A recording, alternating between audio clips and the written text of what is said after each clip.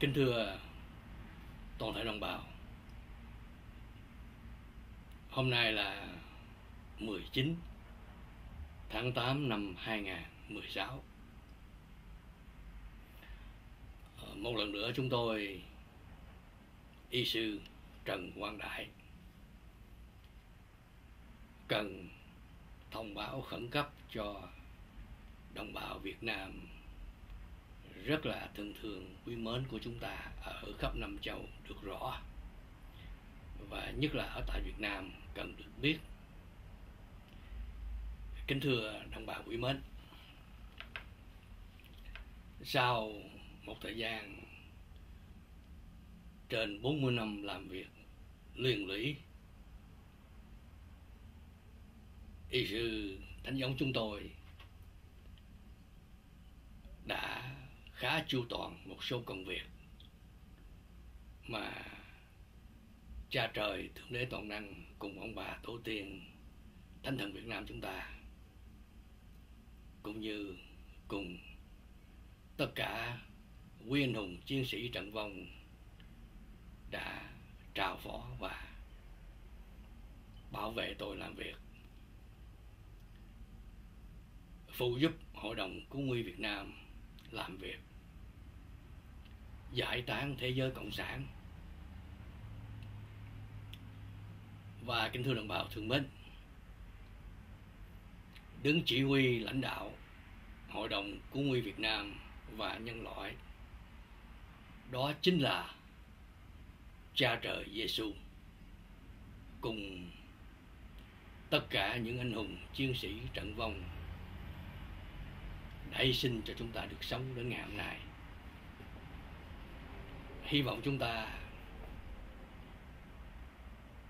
đừng có lạm dụng những đặc ân vô cùng quý giá qua sự hy sinh của cha trời Giêsu và của hàng triệu triệu triệu anh hùng chiến sĩ trận vong đã hy sinh cho chúng ta được sống. Kính thưa đồng bào thương mến cơ trời đang chuyển, những phép lạ đã hiện ra trên mây mà hội đồng công viên Việt Nam đã liên lý chụp được những hình ảnh đặc biệt, những phép lạ cảnh báo về việc tận thế đang chuyển mình, tận thế để cư xử. Công bình công bằng, bác ái, cho sự sống của càng khôn, trong đó có chúng ta là con người, nhân loại. Và thưa đồng bào quý mến, có nhân loại thì phải có thiên loại. Và có thiên loại thì đương nhiên phải có súc sinh, mà có súc sinh thì phải có ngạ quỷ. Kính thưa đồng bào thế thì chúng ta học hỏi được gì về những phép lạ và những bài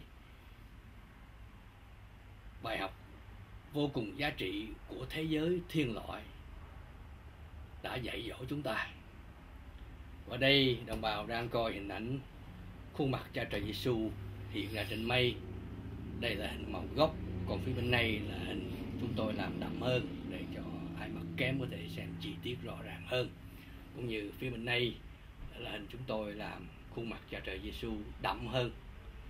Và đây là hình tương đối là đậm hơn chút xíu, còn đây là hình màu gốc khuôn mặt cha trời Giêsu hiện ra để cảnh báo cho nhân loại được biết về việc tận thế đang chuyển mình. Và đương nhiên, cha trời thượng đế toàn năng sẽ nắng quả địa cầu lại cũng giống như quả banh như thế này. Và ngài đã làm nhiều lần rồi trong quá khứ. Và hiện tại thì quả địa cầu đang trong tình trạng cần được nắng lại bởi vì tội ác của nhân loại gây ra quá nhiều. Và nhân loại thì bó tay trước những tội ác càng ngày càng chồng chất do lòng tham sân si và những túi tham không đáy của con người gây ra. Kính thưa đồng bào thương mến, đó là hình ảnh khuôn mặt cha trời Giêsu hiện ra trên mây để cảnh báo cho nhân loại được biết về việc tận thế đang chứng minh. Và sau đó ngài cho khuôn mặt quỷ sa tăng hiện ra trên mây để cảnh báo cho nhân loại được biết về việc động đất tsunami nước biển sẽ dâng tới mây và sẽ có nhiều quốc gia trên quả địa cầu sẽ bị nhận chìm xuống biển nước. Và đây là hình ảnh khuôn mặt quỷ sa tăng hiện ra trên mây và cũng như hình ảnh sóng thần nước biển dâng tới mây và đây là hình màu gốc, còn đây là hình chúng tôi làm đậm hơn để những ai mắc kém có thể xem chi tiết rõ ràng hơn. Và trong đây, đồng bào thấy khuôn mặt của quỷ sa tăng hiện ra rất rõ ràng, cùng với những luồng sóng thần kinh hoàng, khủng khiếp và khốc liệt. Và đặc biệt, hình ảnh khuôn mặt quỷ sa tăng này hiện ra tại đất nước Trung Cộng. Nếu chúng ta nhìn kỹ bản đồ, chúng ta thấy hình ảnh mặt quỷ sa tăng hiện ra tại đất nước Trung Cộng.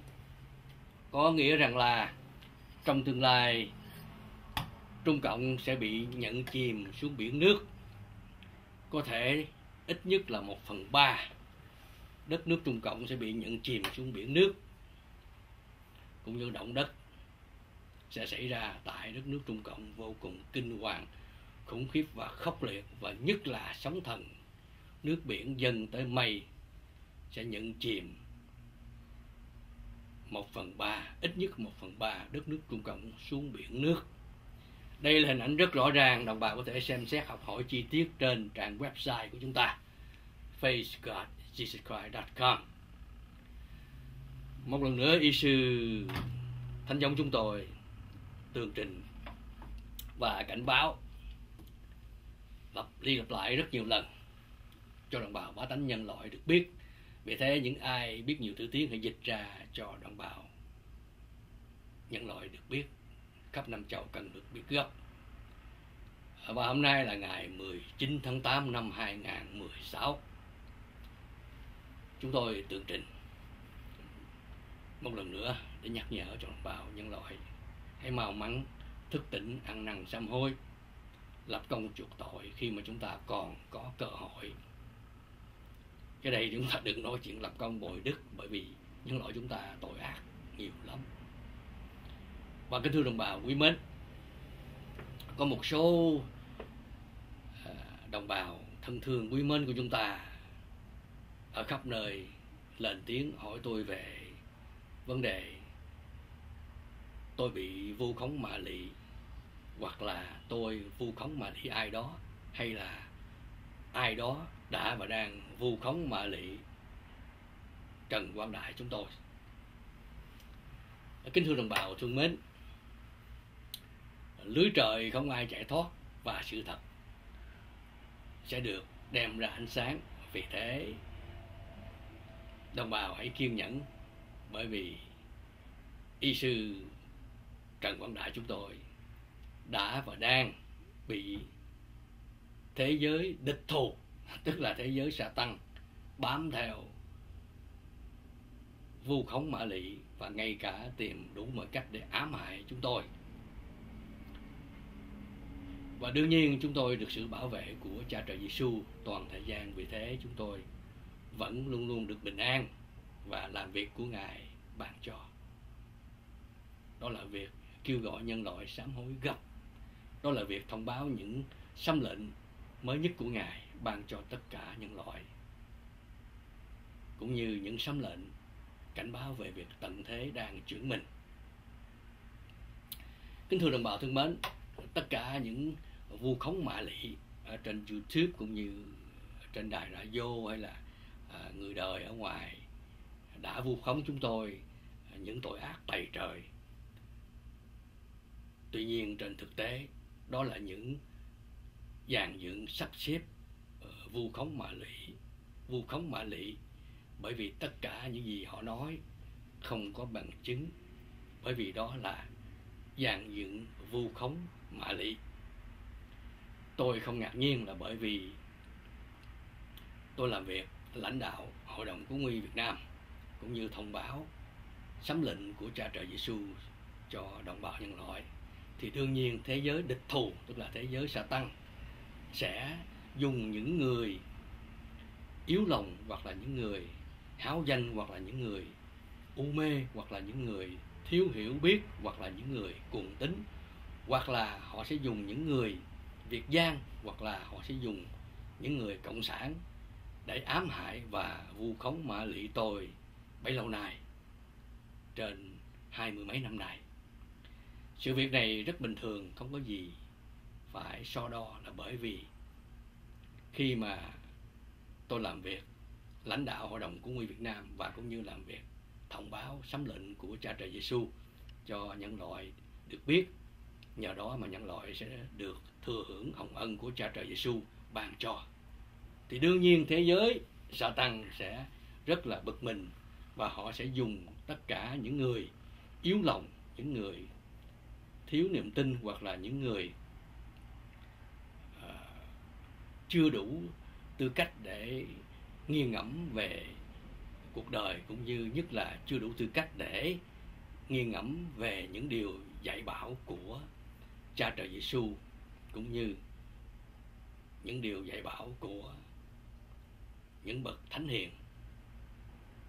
Và kính thưa đồng bào thương mến, một lần nữa tôi nhắc cho tất cả những kẻ đó, những kẻ đang âm mưu ám hại tôi, bấy lâu nay. Hãy chấm dứt và hãy ăn năn sám hối khi mà quý vị còn có cơ hội. Bởi vì tất cả những gì quý vị vu khống mà lị tôi không có bằng chứng. Ngay ở ngoài cuộc đời hoặc là ở tại tòa án, ở tại Mỹ, không có bằng chứng gì để mà chứng minh là những gì quý vị nói là sự thật. Bởi vì đối với tòa án thì giấy trắng mực đen và những lời